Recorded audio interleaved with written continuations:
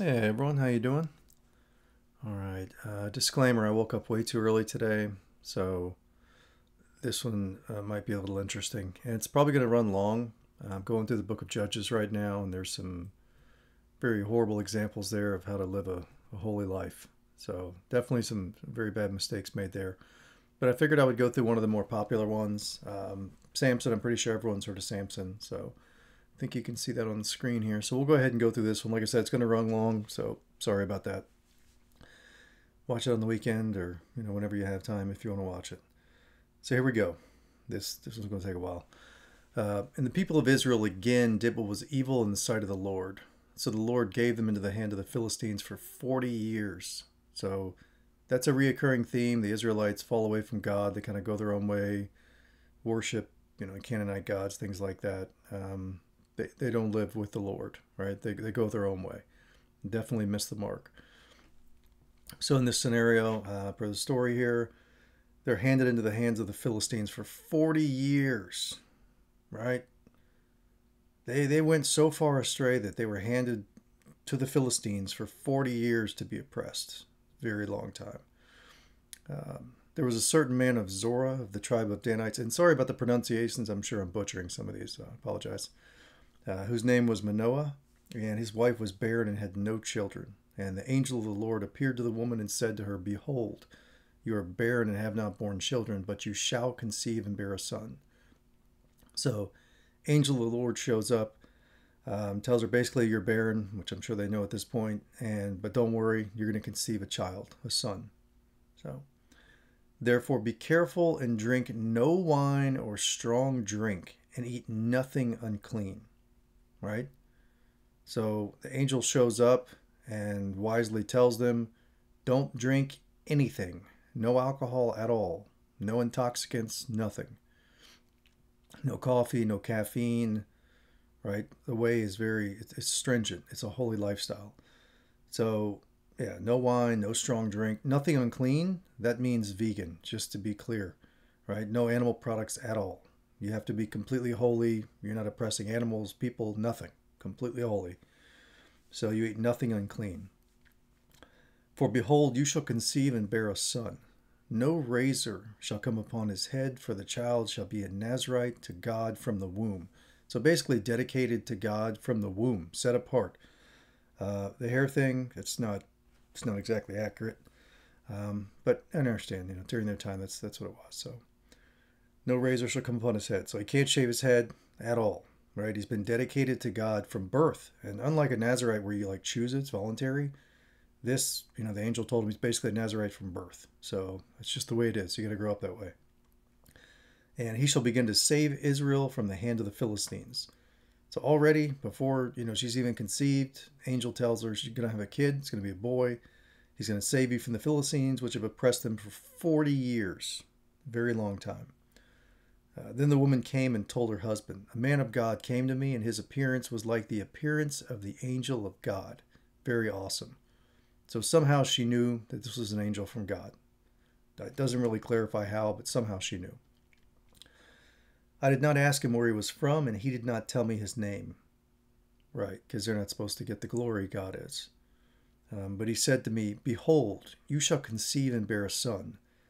So then drink no wine or strong drink, no intoxicants at all, straight edge lifestyle. Uh, for the child shall be a Nazarite to God from the womb to the day of his death. So, pretty sure Nazarites, it was a voluntary thing. You know, you agreed to do it, to be set apart for God's work. Uh, but this is different, right? He was basically going to be Nazarite from birth. And not only for a voluntary short period, or for a period of time, this is until death. So Samson was born knowing that he was picked by God, he was set apart from God. Um, so he was going to have to be holy his entire life until the day he died. So that, that's how he was set up. Uh, then Manoah prayed to the Lord and said, O Lord, please let the man of God whom you sent to me come to us and teach us what we are to do with the child who will be born. And God listened to the voice of Manoah, and the angel of God came again to the woman as she sat in the field. Uh, but Manoah, her husband, was not with her. So the woman ran quickly to told uh, ran quickly and told her husband, Behold, the man who came to me the other day has appeared to me. So the angel came back. They asked for the angel. Angel came back. And Manoah arose and went after his wife and came to the man and said to him, Are you the man who spoke to this woman? And he said, I am. And Manoah said, Now, when your words come true, what is to be the child's manner of life and what is his mission? Right, so they don't understand. I mean, pretty sure they were already told he's going to save him for the Philistines, but they're they don't understand like what his position is, right? And the angel of the Lord said to Manoah, Of all that I said to the woman, let her be careful. She may not eat of anything that comes from the vine, neither let her drink wine or strong drink, or eat any unclean thing. All that I commanded her, let her observe. Right? It's all clarified. No intoxicants at all, including caffeine. Very clean, straight edge lifestyle, very holy. And eat nothing unclean, which would be any animal right? Plants, fruits, vegetables, legumes, nuts, seeds, things like that. Those are all good. Those are on the menu. Animal products are not. So that's anything unclean. And then Manoah said to the angel of the Lord, Please let us detain you and prepare a young goat for you, probably to sacrifice or eat, I'm guessing. And the angel of the Lord said to Manoah, If you detain me, I will not eat of your food. So the angel doesn't want the goat. But if you prepare a burnt offering, then offer it to the Lord. No, that's absolutely incorrect. The Lord doesn't need you to burn any of the Lord's creatures up. That's not going to make you look good in front of the Lord. For Manoah did not know that he was an angel of the Lord. So the wife knew somehow he doesn't he doesn't get it, he can't see it. And Manoah said to the angel of the Lord, What is your name? So that when your words come true, we may honor you. And the angel of the Lord said to him, Why do you ask my name, seeing it is wonderful? Sorry.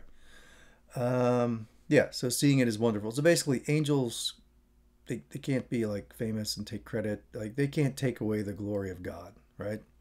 They're created by God to do God's work, but they can't take the glory from God. The glory is God's. So, so Manoah took the young goat with the grain offering and offered it on the rock to the Lord, to the one who works wonders, and Manoah and his wife were watching. God doesn't need your grain. God doesn't need your goats burn up on altars or any of that. You're not even supposed to have idols, so altars, you, you don't need those. Uh, yeah. So God doesn't need any any burning animals to, to make God happy. That that's not going to work. And when the flame went up toward heaven from the altar, the angel of the Lord went up in the flame of the altar. Now Manoah and his wife were watching, and they fell on their faces to the ground. So apparently they were cooking up these animals and the grain offerings. In the smoke, the angel just disappeared and, and went up into the smoke into heaven, or into the spiritual realm, disappeared. The angel of the Lord appeared no more to Manoah and to his wife. Then Manoah knew that he was an angel of the Lord. And Manoah said to his wife, We shall surely die, for we have seen God. I would guess that's pretty common when people see angels because angels are way more powerful than humans, but not nearly as powerful as God. It was just power bestowed upon them by God to do God's work. So I would guess to like certain people, they would seem like God. Um, so, you know. Uh, let's see. Uh, yeah. He would not have accepted a burnt offering and a grain offering in our hands if the Lord meant to kill us. He doesn't need any burnt offerings, no grain offerings. Been clear on that. God doesn't need money.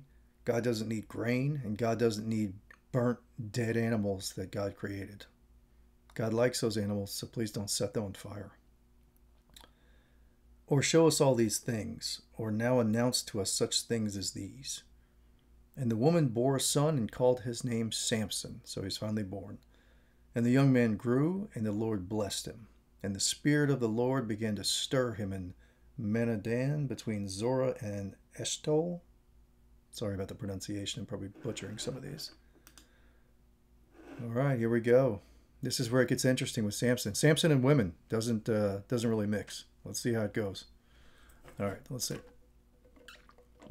Uh, so Samson went down to Timnah, and at Timnah he saw one of the daughters of the Philistines. So this is the group oppressing Israel for, for what, 40 years, right?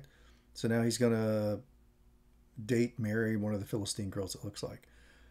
Then he came up and told his father and mother, I saw one of the daughters of the Philistines at Timnah. Now get her for me as my wife. Okay, so it doesn't say that he talked to her, doesn't say that he knew her, that they had common interest, that they were like soulmates or anything like that. It just says that he went down there and he saw her. And then he said, Get me her as his wife. So already we got a problem here with the female relationships here. The, the, the dynamic is off. I mean, he's talking about her like she's property. Number one, she's part of the group that's been oppressing your people for 40 years, so that's going to be awkward for your family and everyone else that knows you. Since you're supposed to be I guess, uh, saving Israel from the Philistines. That's it's awkward. And the whole reason he did it is because she was pretty. Vanity, pure vanity. Doesn't say that he knew her, that he talked to her. Hold on. And he came up and told us, uh, I saw one of the daughters of the Philistines at Timnah. Now get her as my wife. So he just saw her. That's it. He just saw her. He saw something he liked about her, whatever that might have been, and he wanted her right? His loins were encouraged. He was he was ready to go, uh, based off of nothing. Didn't know who she was. Didn't know if she was smart. You know, whatever. Just just basically, he saw something in her that he liked. Pure vanity, based on looks. A relationship based on looks is going to fail pretty much every time. Uh, so let's see. Uh, but his father and mother said to him, Is there not a woman among the daughters of your relatives? Eh. No, no, incest is not it's not a thing. So you can't do that. So that's a strange suggestion, but I, I realized during these times things were a bit different. They kept things a little tighter in the family tree. Uh, but that's that's a no-no. So we're going to X that one out. Or among all of your people. So I guess another Israelite. That probably would have made more sense given his position in the story, right? He's supposed to be liberating them from the Philistines, not marrying into them. Um, you know, maybe she's a great girl. I don't know. I don't think he knows because he hasn't even talked to her. He doesn't know anything about her. All he knows is he saw something in her that he really liked because he's vain and his little head's thinking for his big head. So, among all of our people, that you must go to take a wife from the uncircumcised Philistines. Yeah. So that was the thing back then. They thought that you had to be circumcised to be in good good graces with God. I don't think God cares how you manicure your, your manly parts. Um, yeah, I'm circumcised. It's just kind of a thing here in the U.S.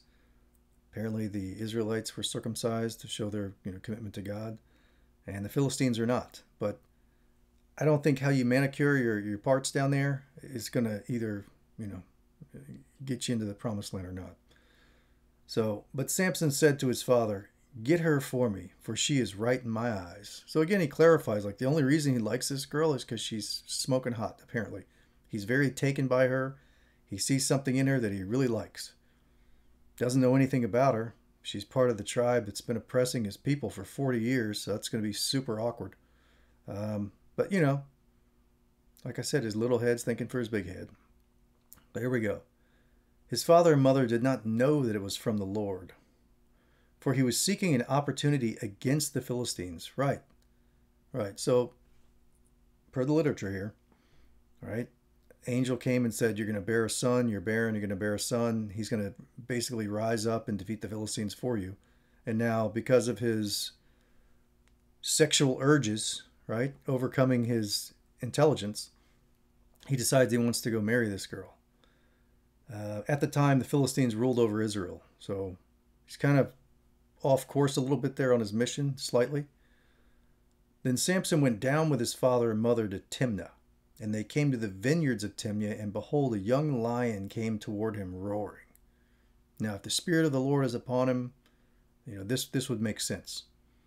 Then the Spirit of the Lord rushed upon him, and although he had nothing in his hand, he tore the lion in pieces as one tears a young goat. Okay. I know what the Spirit of the Lord feels like.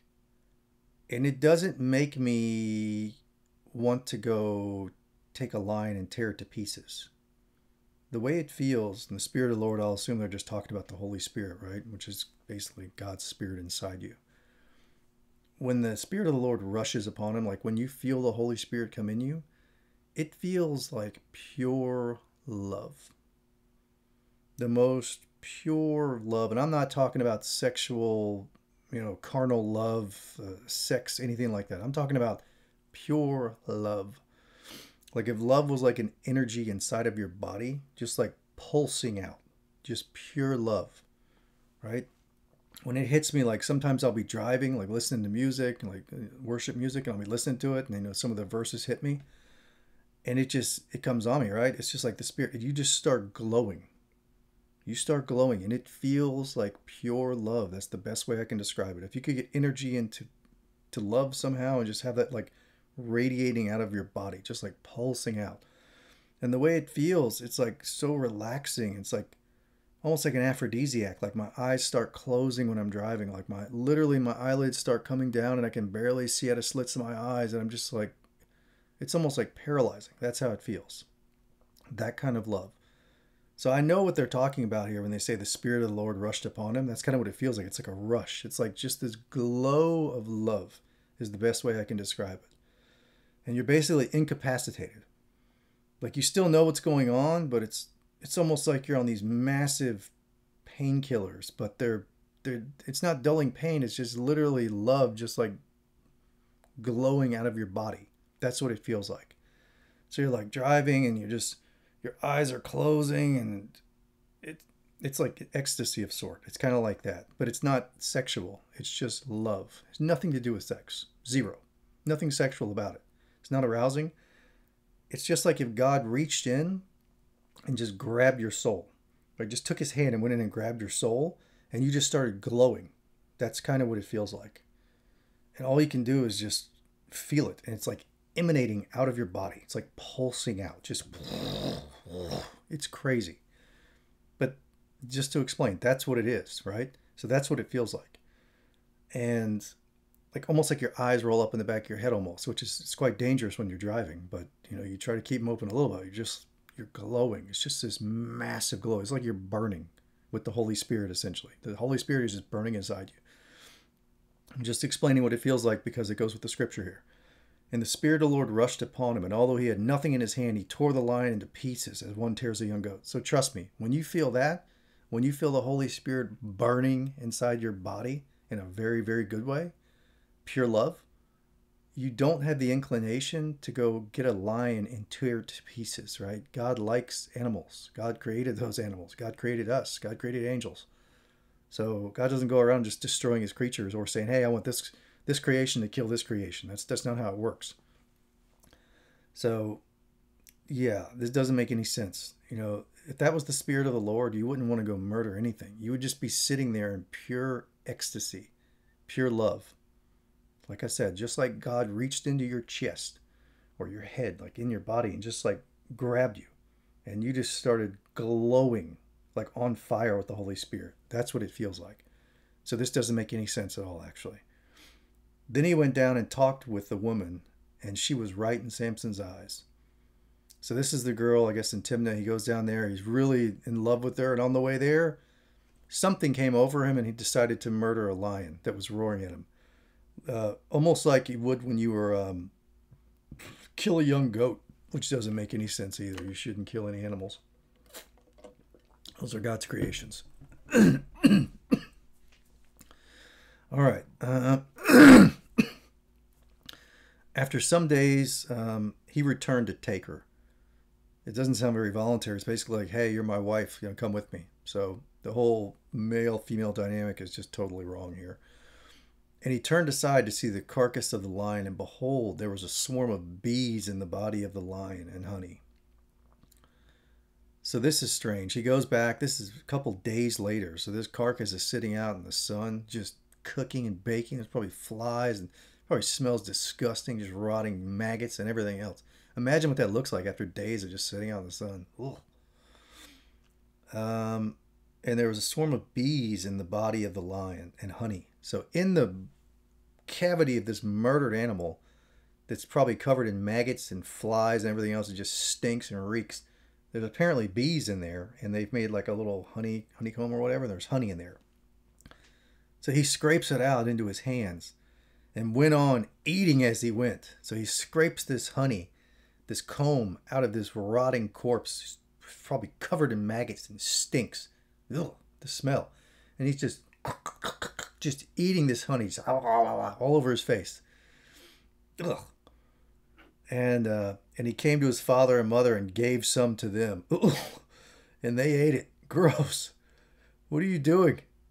This thing, not, not only is it coming out of this rotting corpse of an animal, it's like I said, probably covered in maggots and flies and it stinks. Oh, holy mackerel. So it just, it's nasty. And then he brings it all the way home, probably in his hand, this, this disgusting blob. And then he gives it to his parents and they're eating it. so weird. Um, but he did not tell them that he had scraped the honey from the carcass of a lion. That is nasty. So he must hate his parents. Number one, like, I don't. it's disgusting. The whole story is disgusting. And then you give it to your parents, you don't even tell them, like, hey, by the way, I got this out of a rotting corpse that had been on the ground, and I've been munching on it all the way home. So I've been eating on it. So you're getting like second dibs, technically third if you count the animal. Um, ugh, it's just nasty. All right, so let's see. And he doesn't even tell him like what is that all about? He must hate his parents. His father went down to the woman so he's, he's lying. He's dating a girl wants to marry a girl that's literally part of the group that's oppressing his people. He's on a godly mission to i guess overthrow these people so he's definitely off course a little bit with the mission and there we go his father went down to the woman and samson prepared a feast there for so the young men used to do so customary to go down and prepare a feast i guess as soon as the people saw him, they brought their companions to be with him. And Samson. Hey! Hey!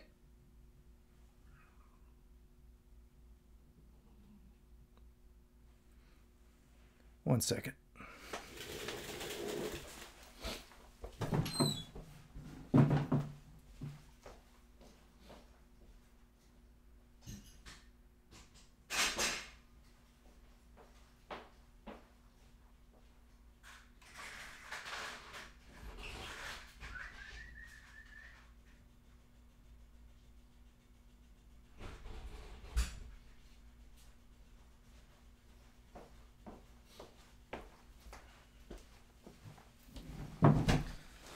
Ugh.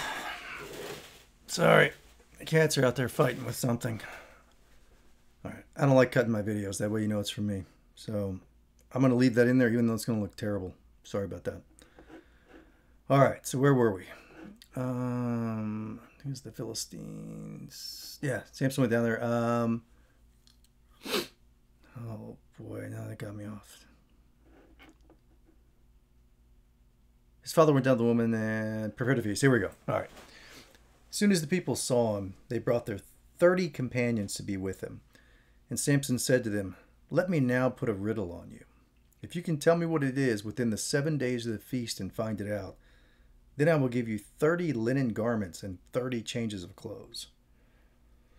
But if you cannot tell me what it is, then you shall give me thirty linen garments and thirty changes of clothes. And they said to him, Put your riddle that we may hear it. And he said to them, so he's got these guests from the party from this girl, Philistine girl. I'm assuming the guests are Philistines too. Um, so basically, he's going to do a little riddle with them, and they have to figure it out within seven days. If they don't figure it out in the seven days of the feast, then they have to pay him. So it's 30 linen garments and 30 changes of clothes, clothing. So here we go. Here's the riddle. Out of the eater came something to eat, and out of the strong came something sweet. So it's pretty strange. And in three days, they could not solve this riddle. So, three days of the seven, they're sitting there, they're beating their heads over, they can't figure it out. On the fourth day, they said to Samson's wife, Entice your husband to tell us what the riddle is, lest we burn you and your father's house with fire. So, I don't know where they found these 30 people, but they seem pretty rough, right? So, on the fourth day, they're frustrated. They don't want to have to come up with these linen garments and the uh, change of clothes. They, they don't know where they can find it.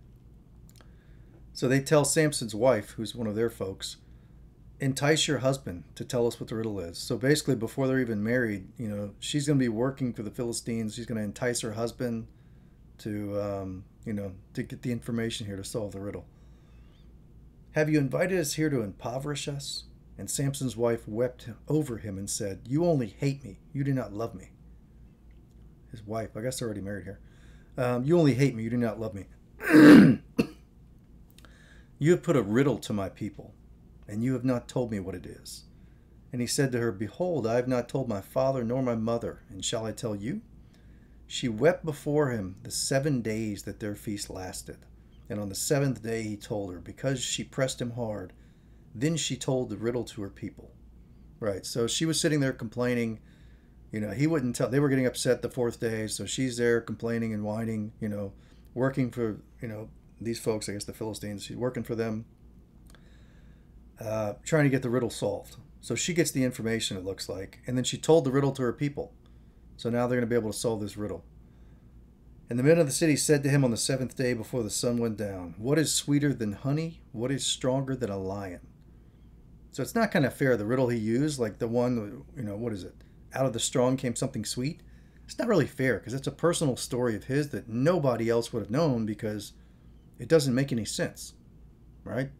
Why would you murder a lion? Number one, how did you murder the lion? That's pretty impressive because they would destroy a human being unless you're like a little baby, little cub.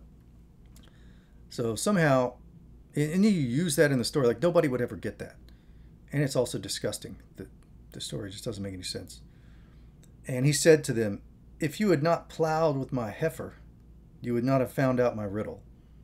So it's kind of an analogy there between, you know, cows and wives, which is ridiculous. You can see how things were during these times.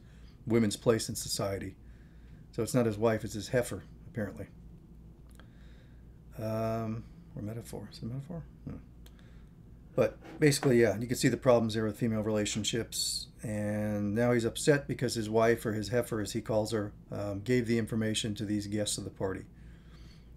And the Spirit of the Lord rushed upon him. And he went down to Ashkelon and struck down thirty men of the town and took their spoil and gave the garments to those who had told the riddle. All right, So here we go again. This is whole uh, let me go down there and kill a bunch of people and take their stuff. War booty. So he gets upset. The Spirit of the Lord rushed over him. I already explained what the Spirit of the Lord feels like, the Holy Spirit. It's nothing that's going to make you want to go kill people. Trust me. All you're going to want to do is just sit there and just feel the love of God burning in your body, glowing. You're just glowing with love, is the best way I can describe it emanating from your body, just like glowing out. It's almost like you're on fire. That's what it feels like, but a very, very good fire, a fire of love. So that's not what it feels like when the Spirit of the Lord rushes upon you. You don't want to go down and murder 30 people to steal their clothing, to pay off a riddle which wasn't fair to begin with, right? It was unfair because it was based on an experience that only he knew. Nobody else would know that story because it doesn't make any sense in hot anger, he went back to his father's house, right? Spirit of the Lord, anger, no way. Love only, not, not anger. And Samson's wife was given to his companion who had been his best man. So while he was down there murdering all these people to take all their clothing off, and I don't understand, like, wouldn't that clothing have like blood all over it? Like, if you're going to pay this debt back and you're going to give them like the 30 garments, the 30 linen garments and 30 changes of clothes, shouldn't they be clean and like pressed I don't want them to come. Like I don't want to get this riddle solved, and it's um. You okay? I don't want to get this riddle solved, and then I get these garments, and they're covered in blood and like sword holes or axe holes or however he did it. That's not supposed to be. You're expected to get these linens like in good shape. I want them folded up. I want them pressed. I want them looking nice. You know, good colors. The tag's still on them. Everything look nice, right? I don't want them looking like it just came from a murder scene, you know, covered in blood and stinking with bugs all over them and they're torn up and who knows if he collected everything. You might have like one sock and one sock's missing or, you know, one arm's longer than the other because you tore it off of them. It doesn't make any sense. You just, it's weird. Uh, and then, so because of that, because he went down there and did all that, while he was busy murdering these these thirty people to pay off this debt, I guess his wife was given to his companion, his best man. Wow.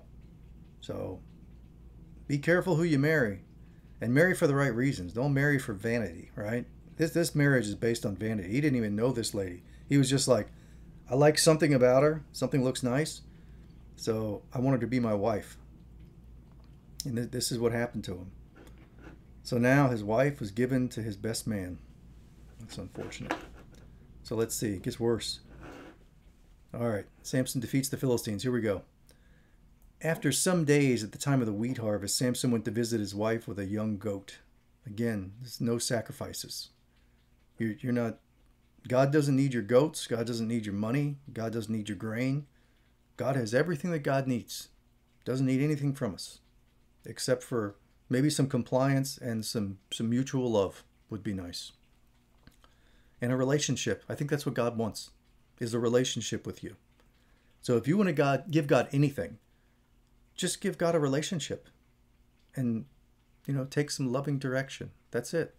Just have a relationship. Just chat, just talk. Doesn't need money, doesn't need goats, definitely doesn't need you to murder any animals, uh, doesn't need grain. God doesn't need anything. Just a relationship with you. That's all God wants. So, if you can do that, if you can just have a relationship with God, that's it. Love God and love all others, right? Love God and help God's creations here, right? While we're here. Do good things for God's creations, which includes the planets, the people, our souls, the animals, everything. Trees, flowers, planet, everything. All of it. The oceans, especially the oceans, everything.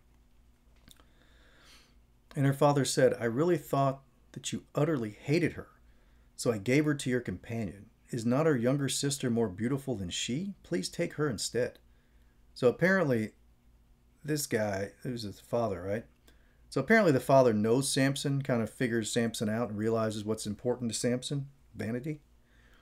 Um, so he says, Hey, look, I know I gave her away to your best man while you were out murdering people to pay off your, your um, riddle, which was unfair to begin with. Um, so, hey, why don't you take her younger sister? She's younger, she's prettier, maybe she's got better curves, maybe she you know, pokes up her chest more or pokes out her butt more. Who knows? You know, that's that's what people do these days. They're all about their vanity. Um, so take her. She's younger, um, and and she's beautiful, right? That's all that matters. It's looks. That's all that matters. Doesn't matter about people's souls or their minds or what they like to do, their relationship with God, which is critical. You don't want to marry someone that doesn't have a relationship with God. So they say don't yoke yourself to unbelievers. It's fine to try to save people, but in a holy union, if you're going to be in a holy union forever for the rest of your life with someone who's not a believer or believes incorrect religion, yeah, that's very problematic. You're going to have all kinds of issues. Um, so please take her instead. Basically, just use your eyes. She's pretty. Don't worry about what she thinks. Just all that matters is her body. So that, that's apparently this father-in-law knows Samson pretty well. And Samson said to them, This time I shall be innocent in regard to the Philistines when I do them harm. That's not true. You won't be innocent. So, because think about it, those Philistines were also created by God. Even though they're warring, right, between each other, which humans usually do, uh, we're all created beings. So they're just God's creations fighting God's other creations for reasons. Uh, this time I shall be innocent. Nope, you won't. So Samson went and caught 300 foxes and took torches. And he turned them tail to tail and put a torch between each pair of tails. Okay. All right. So let me get this straight. Samson went and caught 300 foxes, somehow, alive. I don't know how long that would take. I don't even know what the procedure was back then for catching foxes, but somehow he got 300 foxes and he took torches and he turned them tail to tail. So I guess pairs of two here. And he like took the torch and he got it lit and took the tails and tightened them up there. Um, so he's got a, a, burning torch between two foxes, which are probably trying to run in opposite directions, I would guess. And when he had set fire to the torches, so like 150 torches, I guess, he let the foxes go into the standing grain of the Philistines and set fire to the stacked grain and standing grain, as well as all the olive orchards. So he's upset, I guess, because, you know, his best man married his his wife, um, his very pretty wife, So he's upset, right? So he decides he wants to burn down all the grain and, and harm the Philistines. So he gathers up 300 foxes in pairs, I guess 150 torches, lights them up, ties all their tails up, and even though they're probably running in opposite directions, somehow they run around and they set all these these grains on fire. Set up this huge like agricultural fire. Says this is a bad guy. Then the Philistines said, Who has done this? And they said, Samson, the son in law of the Timnite, because he has taken his wife and given her to his companion. That's the father in law. And the Philistines came up and burned her and her father with fire. These are nice folks, aren't they? So they're upset. The Philistines came up because of the arson, right? So they're mad at um, Samson because of the arson. So because of the arson, they go and they burn her and her father. So they set them on fire. These people are just wonderful. This, oof, a rough time period, isn't it? You think God wants to see us acting like this? This is nonsense. And Samson said to them, If this is what you do, I swear I will be avenged on you, and after that I will quit. And he struck them hip and thigh with a great blow. And he went down and stayed in the cleft of the rock of Edom. So I guess he smacked him in the hip before he left. It doesn't really clarify how many or anything, but I don't know. So I guess you know he's a violent guy, right? So I guess he just hit some more people, hit him in the thigh. Uh, then the Philistines came up and encamped in Judah and made a raid on Lehi. So now they're raiding. And the men of Judah said, Why have you come up against us? They said, We have come to bind Samson, to do to him as he did to us. Then 3,000 men of Judah went down to the cleft of rock of Edom and said to Samson, Do you know that the Philistines are rulers over us? What then is this that you have done to us? And he said to them, As they did to me, so I have done to them. So this is almost like that stupid eye for an eye thing, right? Where it's basically just tit for tat, you know, and you see a lot of countries getting into this stuff nowadays, right? I mean, you're allowed to defend yourself, but it's like you get into this situation where it's like you attack me, I attack you. It's like a tit for tat, and it just goes back and forth forever. It's it's unfortunate. Um, but you know, you have evil aligned people that just want to attack innocent folks. So, you know, at the end of the day, you have to you're allowed to defend yourself, right? Because in a fallen world, you have bad people, lots of them. And unfortunately, a lot of them, because they're willing to be very, very violent, they get into power. They get into power structures. They get into ruling governments and people. And it's unfortunate, but they have no moral compass. And because of that, you know, they do whatever it takes. They kill, they maim, they set on fire, they beat people, they intimidate, they use violence. That's how they stay in power. And, you know, until recently, that's that's been a thing, you know, and that's worked. Uh, but now God's taken a very um, active interest in cleaning up this mess. So, you know, those days are coming to an end.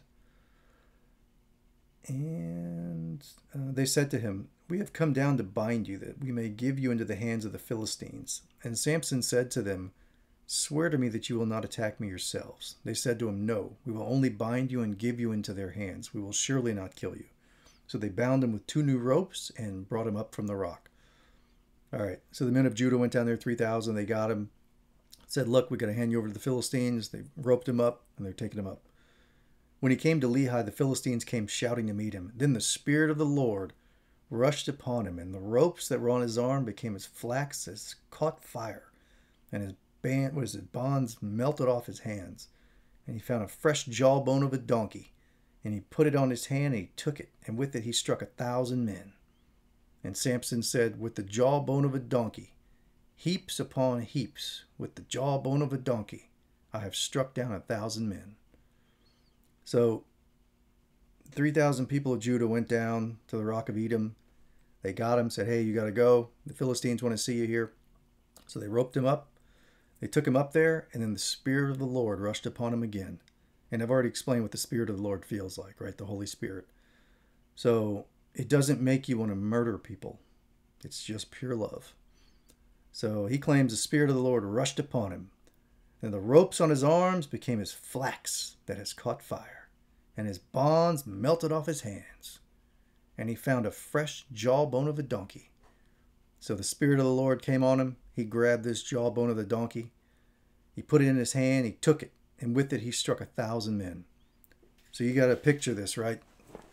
Spirit of the Lord came on him. He gets this jawbone of a donkey, and he just starts wailing on people. He kills a thousand people, smashing them with this jawbone, which apparently was extremely strong. I mean, I know bones are strong and it's a jawbone, so I guess it's really like dense. But to sit there, I don't know how long that would take. And for a thousand people, they must have like lined up single file and come and attack them. Because with a thousand people, it's really difficult to defend yourself. You know, you're getting hit from every angle, right? They're circling around you, or they're trying to beat you down. But somehow he had that jawbone, and he was just smashing people. He's backhanding them. He's hitting them, hitting them from behind, all over. So he's just smashing people with this jawbone. So he gets done. I don't know how long it took. It must have taken a while, but somehow he kills like a thousand people with a jawbone. It's just impressive. And as soon as he had finished speaking, he threw away the jawbone out of his hand, and that place was called Ramath Lehi, or Lehi. I tell you what, if that was my story, and I'd, I wouldn't, but if I'd killed like a thousand people with a jawbone of a donkey, I would probably keep it right? You want to put that on the mantle in your house or something, right? You know, to to this great story, right? You just killed a thousand Philistines, your enemy, right? God wanted you to, to overthrow the Philistines, and you just took out a thousand of them with a jawbone, not with like a, a sword or an arrow or, you know, whatever weapons they had back then that they used. They didn't have anything like that, right? So you would think that you would keep this jawbone. It's pretty important, like historical, biblical you know, I don't know, piece of history. But maybe he did, I don't know. And as soon as he's finished speaking, he threw away the jawbone out of his hand, right? What? You would keep that. Are you kidding me? Look at how many people go around murdering deer. They get so excited. They're like, oh, I conquered nature. I went out there with this, you know, this uh, 270 rifle with this gigantic, like, 10x scope and I hit this deer from like 400 yards away. I'm so amazing. I'm so great. Right? You murder these animals and you stuff their heads and you stick them on your wall so you can look at them while you're eating dinner. Right? That's what you do. You want to sit around with your family in this dead animal's head, just sitting there on the wall, staring at you with those little marble eyes because it's weird and sick. You do it. I, I don't know why you do it, but you do it. It's, it's creepy. Very creepy. Um, but yeah, so this guy decides he doesn't. It's not a trophy. It's not worth keeping. He throws it away. And he was very thirsty. Yeah, I hear that. And he was very thirsty. And he called upon the Lord and said, You have granted this great salvation by the hand of your servant. And shall I now die of thirst and fall into the hands of the uncircumcised? So he's upset because he's tired. He just took this jawbone and mashed and killed a thousand people. Can you imagine how many calories you would burn and how overheated your body would get when you're killing a thousand people with a jawbone? You would be exhausted. I mean, go swing a baseball bat a thousand times, right? Just swing it as hard as you can, because that's how hard you would have been swinging. As hard as you can, a thousand times. That's without hitting people, right? And if you're going to kill them with a jawbone, you're going to probably have to hit them multiple times. This is not going to be like a single jawbone to the head and they're dead. That's not how it works with human anatomy. You're going to have to like, boom, boom, you're going to have to like smash on them over and over. Um, hit them in the throat, maybe some like vital organs. I don't know. Hit them in the temple, but you're going to have to put some work in. And for a thousand people, you're going to be there a while. Even if they lined up single file and you had to kill each one, right? It's going to take a long time to get through a thousand people. And it doesn't say like he stopped to have snacks or like, you know, any energy bars or anything like that. No water. This guy just went ham. I mean, he was just smashing them, thousand of them. So he's thirsty and he's upset. And he's at, he's mad, right? So he's talking to God. He's like, God, I just killed all these people with this jawbone for you because I had your spirit on me that wanted me to go murder all these people. And now he's mad because he doesn't have any water and he doesn't want to be handed over to these people that are uncircumcised. Why God would care about that, I, I have no idea. Um, and then God split open the hollow place that is at Lehi, and water came out of it. So God was like concede and say, "Hey, you just put in all that work with that jawbone. You, you did your duty. Here's some water." And then the water appeared. And when he drank, his spirit returned. Now, I would say that when he drank, he probably felt better because, like I said, he's got to be dehydrated. Even swinging a bat a thousand times is going to make you really, really thirsty if you swing as hard as you can, which you would have to do in this scenario. But he's saying when he drank, his spirit returned, and that's not true. Your spirit, the way it is with me, like sometimes the spirit is returned through like doing good works, like doing God's work, either sharing information or helping people out that are in need, using like sweat. Um, money donations, that's that's needed, you know, it is needed, um, but it's not, and it's nice. I'm not saying it's not bad. It, it's nice to do that to help out a good cause with your money. It's a good thing, right? You can help with your your sweat, you can help with your information, you could help with your money if that's how you're blessed. But I think, at least with me, like the way my spirit gets recharged, it's through like good works, you know, either sharing information or helping people out in need, you know, with physical sweat and toil and then helping them physically. That's how mine gets recharged. It's not through water. Now, I've been very dehydrated. I took an ill advised bike ride here recently. It was like 34 miles, it turned out being. I didn't plan it to be that long. But I literally almost passed out. Um, I did, actually. I fell over, I didn't fall over, but I kind of put the bike down and laid in the grass for like 20 minutes or so because I just couldn't move. I just had no energy. And when I got home, I drank water and my body was refreshed. But it didn't do anything for my spirit. It was just, I was really dehydrated. So I can imagine Samson, after, you know, murking all these people with a jawbone, he was really, really um, dehydrated. So it's not the spirit that returned, it's just, it was his hydration levels. Um, therefore, the name of it was called En Hakkore. Uh, it is at Lehi to this day. Like I said, sorry about the pronunciation. I'm sure I'm butchering these. And he judged Israel in the days of the Philistines for 20 years. Wow. So this guy who's is pretty morally bankrupt, very vain, very selfish, got off mission a lot, is chasing women uh, for the wrong reasons, for looks, not for who they are, but just for looks. And he's chasing a woman that's not an Israelite, right? Not not part of his tribe at the time. It's literally part of the tribe that he's supposed to be, you know, fighting because they're oppressing um, the Israelites for like 40 years. So it's an odd choice. But apparently he was in charge for 20 years. I can only imagine those are 20 wonderful years with the way he operates. So a lot of these judges, go go read the book of Judges. Like some really bad examples of humans in there. Just just how we act, you know, how selfish we are, and Thankfully, we're not quite this violent, not all of us, but yes, the judges weren't exactly, you know, pillars of society. They, they weren't the most holy people I've ever seen as far as the scripture depicts them. So here we go Samson and Delilah. I think everyone's heard of this story, at least a little bit. So let's get into it. Hold on. Thirsty. Just hydration, not spirit. All right. Samson went to Gaza and there he saw a prostitute and he went into her. All right, so here we go.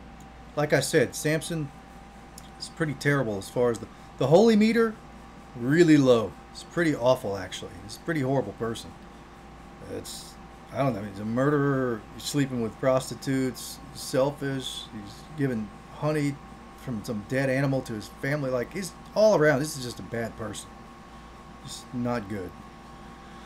He's down here found a prostitute and he went into her. So he just finds some lady he doesn't know and just sleeps with her for cash. Nice, huh?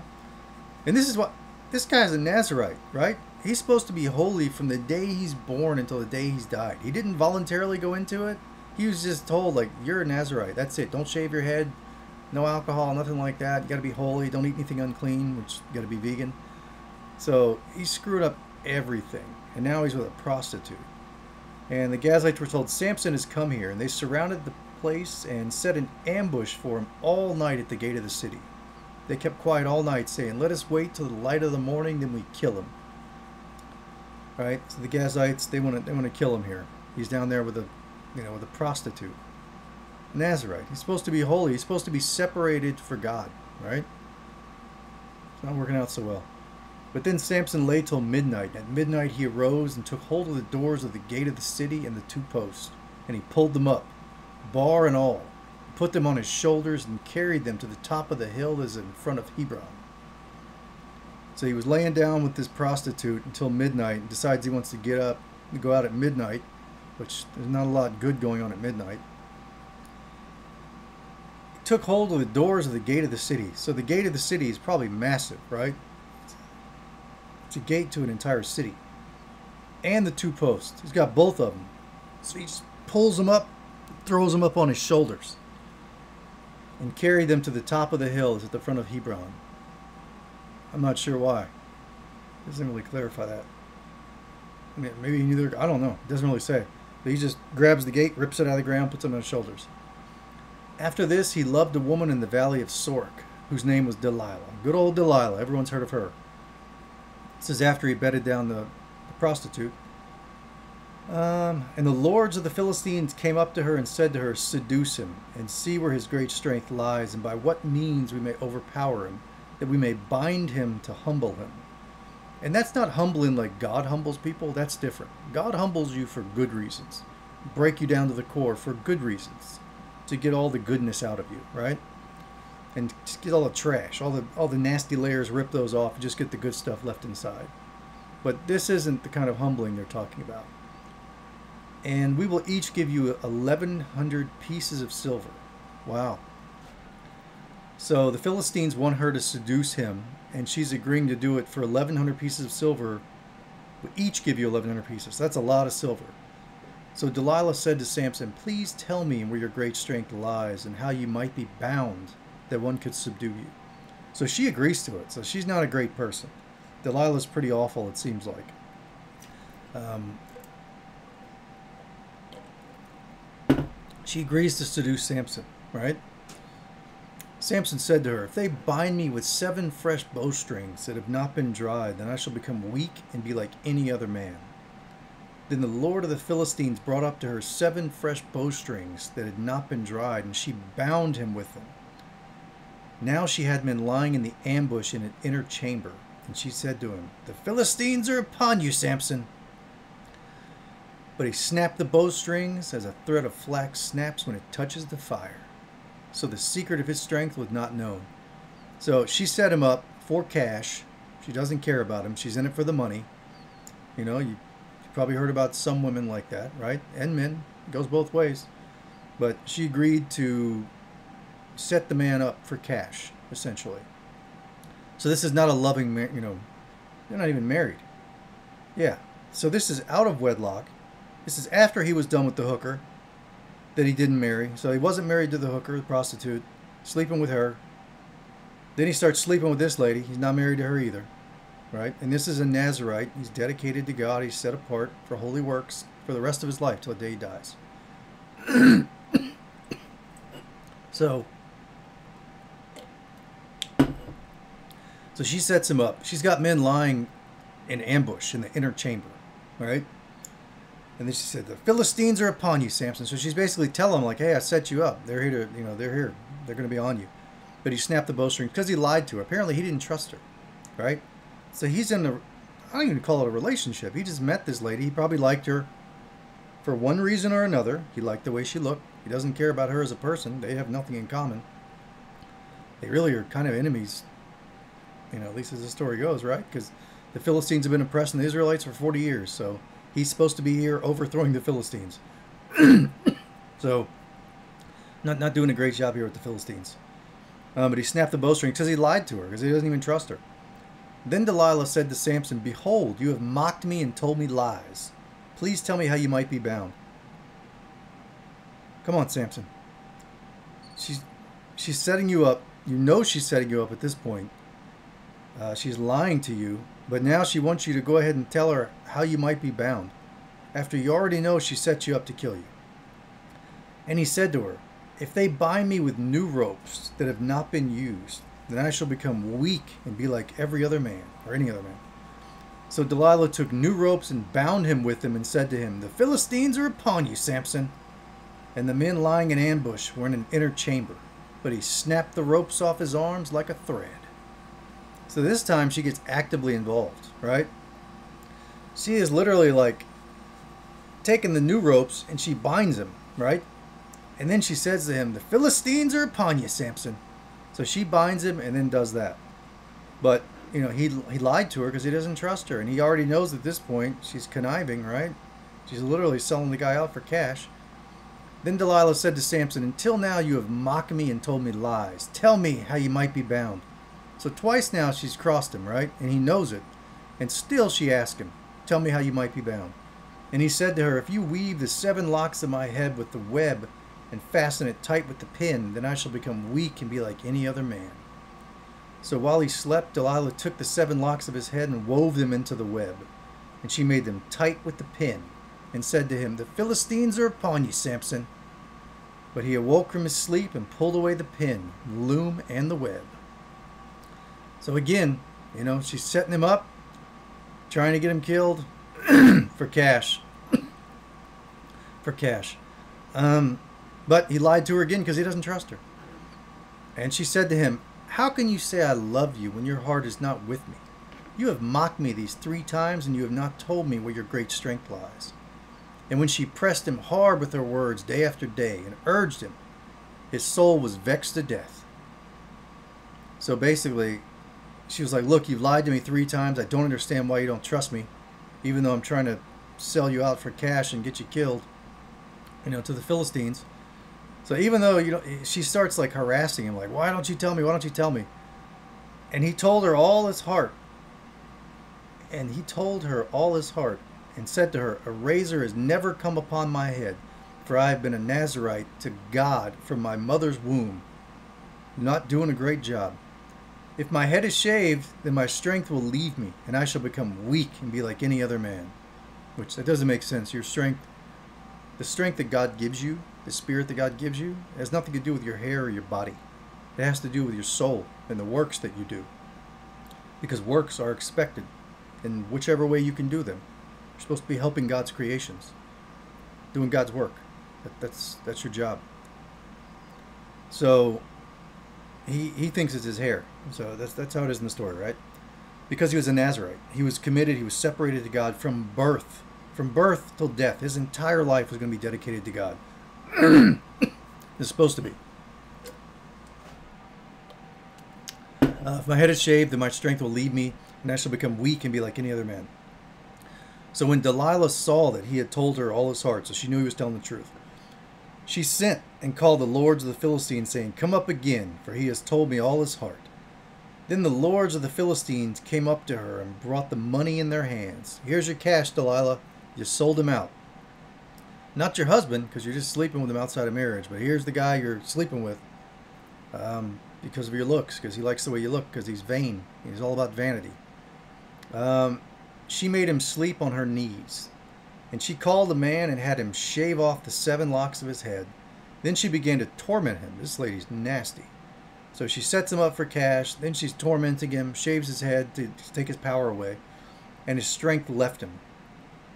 And she said, The Philistines are upon you, Samson. And he awoke from his sleep and said, I will go out as the other times and shake myself free. So he thought he got her this time but he did not know that the Lord had left him. I'm quite certain the Lord would have left this man a long time ago, right? So, yeah. Um, I don't think God would have waited until this particular moment to leave Samson after all that Samson had done. I mean, God's very forgiving and, and will work with us through our screw ups as we miss the mark over and over and over. But this guy's pretty rough and it definitely didn't have anything to do with his hair. So if the God left him, if God left him, it wasn't because of his hairdo. And the Philistines seized him and gouged out his eyes and brought him down to Gaza and bound him with bronze shackles. And he ground at the mill in prison. But the hair of his head began to grow again after it had been shaved, as anybody's hair would. These people are horrible. So the Philistines, they gouged out the man's eyes so he was with this girl he shouldn't have been with outside of marriage. He knew she was out to get him. He's still with her. So he finally tells her the truth. She gets him weakened. Um, the Philistines come and they get him, snatch him up. They gouge his eyes out. How horrible of a person are you that you can gouge someone's eyes out? You are disgusting. You are like a sinful beast if you can operate like that. You. Oof, God's going to humble you. Um, yeah, so they ground, they got his eyes, spooned him out. I don't know how they did it. They took his eyes out. They blinded him. And then he ground at the mill in the prison. So you've got a blind man pushing around a mill, right? Like they have the animals do. Just pushing it around blind. Can you imagine that life? You're grinding. You're at a mill, you're grinding things for your enemies that gouged your eyes out. And you have to sit there and push this thing around like grinding whatever it is they're grinding, wheat or whatever. Imagine that life. Right? Now you know what the animals feel like. You got them shackled up, just walking around, grinding, all that stuff. You know, yeah, it's very similar. Um, but the hair of his head began to grow again after it had been shaved. Well, yeah, I mean, once you shave your head, your hair does start to grow again. That's that's pretty normal. Here we go. The death of Samson. All right. now the lords of the Philistines gathered to offer a great sacrifice to Dagon or Dagon, their god, and to rejoice. And they said, "Our God has given Samson, our enemy, into our hands." No, Samson gave himself into your hands. And when the people saw him, they praised their God. Their God, Dagon, the fake God, like many of their gods that people worship these days. For they said, Our God has given our enemy into our hand, the ravager of our country, who has killed many of us. And when their hearts were merry, they said, Call Samson that he may entertain us. Oof. So they called Samson out of prison. So Samson's in there grinding stuff up while he's blind and they want to be entertained. They want him to like I don't know what that means, like wander around while he's blind, like trying to find things just entertain. These people are disgusting. Like you're a sick, perverted person, full of sin and evil. If you want to see a blind man entertain you, a blind man that you gouge out their eyes, and you got him in there just walking around grinding all the time, blind, like you are horrible. Um, to entertain them, right? They made him stand between the pillars. And Samson said to the young man who held him by the hand, because he couldn't see, he was blind, Let me feel the pillars on which the house rests, that I may lean against them. Now the house was full of men and women. All the lords of the Philistines were there. All the uppity uppers, right? The upper echelon, oh, the politicians, whatever. You know, all the, all the rich folks that are oppressing the people below them. And on the roof, there were about 3,000 men and women who looked on while Samson entertained, right? So, for the story here, he's down there, he's between the two pillars. There's like 3,000 people that are up there, men and women, who looked on while Samson was entertaining them while he was blind. These disgusting people. Then Samson called the Lord and said, O Lord God, please remember me and please strengthen me only this once, O God, that I may be avenged on the Philistines for my two eyes. So he's, he's still upset because they spooned his eyes out. And Samson grasped the two middle pillars of which the house rested, and he leaned his weight against them. And his right hand on one, and his left hand on the other. And Samson said, Let me die with the Philistines. Then he bowed with all his strength, and the house fell upon the lords and upon all the people who were in it. So the dead whom he killed at his death were more than those whom he killed during his life. wow. So he wondered why God left him. He killed 3,000 people, and that was more than the people he'd killed during his life. So, I don't know, 5,000, 4,000, however many it was. This guy's murdered a lot of God's creations, a lot of them. Um, so, yeah, I mean, I can understand he was upset for sure. And these people were heinous. But per the story, he's killed like 5,000 people in his life. and he was quite immoral, right? Just the way he chose women was based on vanity. It wasn't based on anything else. It wasn't based on love or he didn't know anything about them. All he knew was that they were pretty. That's what he based everything on. They were pretty. And the prostitutes too, right? Then his brothers and all his family came down and took him and brought him up and buried him between Zorah and Eshtaol in the tomb of Manoah, his father. He had judged Israel 20 years. Well, like some of the other judges, you know, uh, the way he judged was not great. He was not a good representative of God at all. Pretty rough life. I mean, had a horrible ending that he brought on himself, but pretty rough character. And if you have time, go read the book of Judges. There's really bad examples of how to act in there. I don't want to go through all of them. You know, you have Gideon and, and Abimelech and all that. There's a lot of them in there. So there's go read it. You'll, you'll see it's interesting. definitely not like good nighttime stories for children. Um, but you know, it's the Old Testament. It's it's awful. But yeah, that's it. That's Samson. So, you know, Samson he didn't didn't listen to his parents. He didn't really honor his mother and his father because he made his own decisions on his marriage based on looks. You know, he just went down there and saw someone was like, "She's pretty. I want her." So that started his whole downfall. He was supposed to be dedicated to God his entire life from birth. He's going to be a Nazarite from birth. He didn't voluntarily do it. The angel came down and said, Hey, you're a Nazarite from birth. You're going to help us overthrow these Philistines, which have oppressed them for 40 years. That was his job. Um, but unfortunately, instead, he wanted to go find the pretty girl. So he went and found the pretty girl and he married her, you know, against the wishes of his family. And that didn't work out. She ended up with his best man. Oh, that, that was the second one, maybe. Um, yeah, whatever. But yeah, so she ends up with the best man and the Philistines and the whole story. Like it's just his downfall. Basically, women is kind of. I mean, he got off mission. He got off God's mission for himself because he went chasing pretty girls. That's what happened. He went down the rabbit hole of vanity.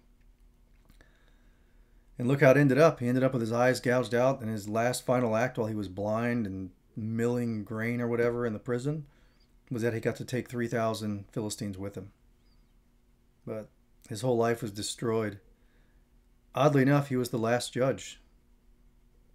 Yeah, I, I mean, with examples like this, I can see why. So that's it. I figured I would get this video out, um, get this one going. Sorry, I'm a little bit tired. Uh, but I figured I would get this one out. It's been a couple days. So I hope you enjoyed it. You know, don't be Samson. Don't be the Philistines. Don't be any of these people. Actually, follow God's directions and um, have a relationship with God and listen because we're um we're gonna go through some rough times. We are going through rough times, but we're gonna continue to go through those rough times. So God wants to walk with us during these rough times to help us and to bring us closer to God. So that's it. Just remember God loves us and, like I said, wants to help us with guidance. So please listen and um, don't be Samson. Have a great day.